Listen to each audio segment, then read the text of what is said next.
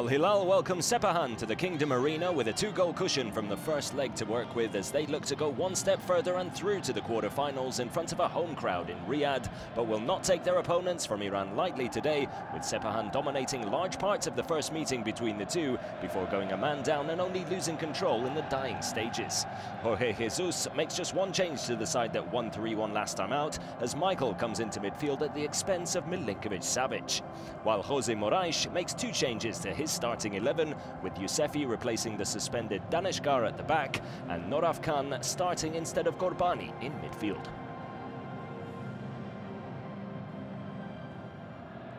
So Sepahan with work to do. Al Hilal with an early free kick. Quarter of an hour gone. And the first real big chance of the game falls to Alexander Mitrovic. Heads it down. Niazmand able to make the save though. Al Hilal playing inside their own half. They're caught in possession here. It's Arabi. Arabi drags his left footed effort wide. Does really well to win the ball back in a promising position. Ruben Neves with the dead ball situation. It's come through to Mohamed Kanno. Off the outside of the post. No one dealing with the ball into the box. Kanno, on the outside of the left boot. To the 38th minute, Mitrovic lays it off to Michael. Well, really should be scoring there. Try to place it into the bottom corner. Five minutes to go before the half-time whistle. Mitrovic cleared off the line. And what a clearance that is by Yousefi. Pops up, right place, right time. Still a nil-nil here. That is the half-time score as well. Al Hilal still with the two-goal advantage over the two legs, though.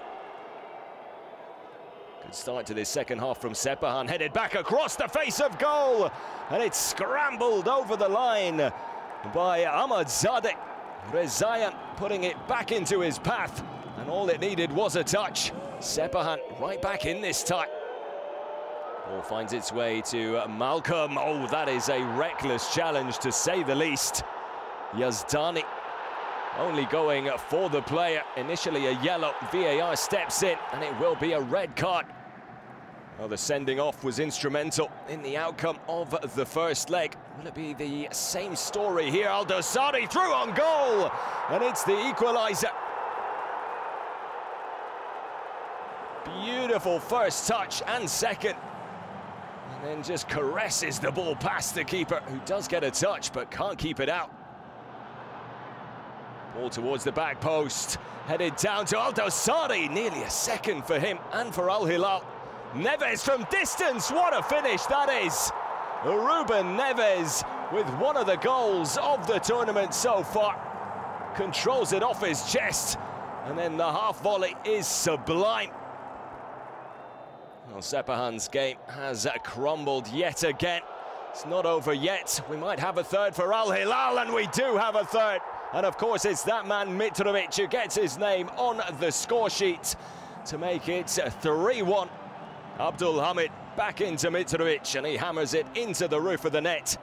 So last year's finalists Al Hilal keep their hopes of another lengthy run in the competition alive by coming from behind for a second time to book their place in the quarterfinals of the AFC Champions League with a 4-2 aggregate win after another red card for Sepahan dashes their chances of survival.